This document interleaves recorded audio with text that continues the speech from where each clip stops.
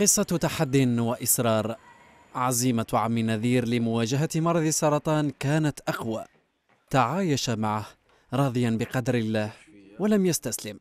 روح وإرادة كبيرة في كل خطوة من يومياته في 2013 وأنا مع هذا المرض وش نقول لك أنا أنا نصارع هذا المرض مهما كانت الظروف ومهما كان الألم ولكن نتحدى ونشوف نمد 50% في في في كما نقول حنا في حالة نفسية نتغلب على هذا المرض. والحمد لله رانا آه، كما قلنا نداوي ولا باس الحمد لله في هذه الساعة. الرجاء من المولى عز وجل في شفائه ولمرضى المسلمين في كل الصلوات الدعاء واتخاذ الأسباب لذلك.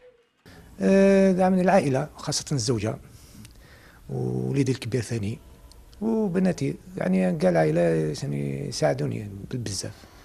هي سنوات من الصراع مع الألم وكل الأمل في الله. وها هو العم نذير يرفع يديه تضرعا للمولى عز وجل أن يكون الشفاء قريبا وعاجلا.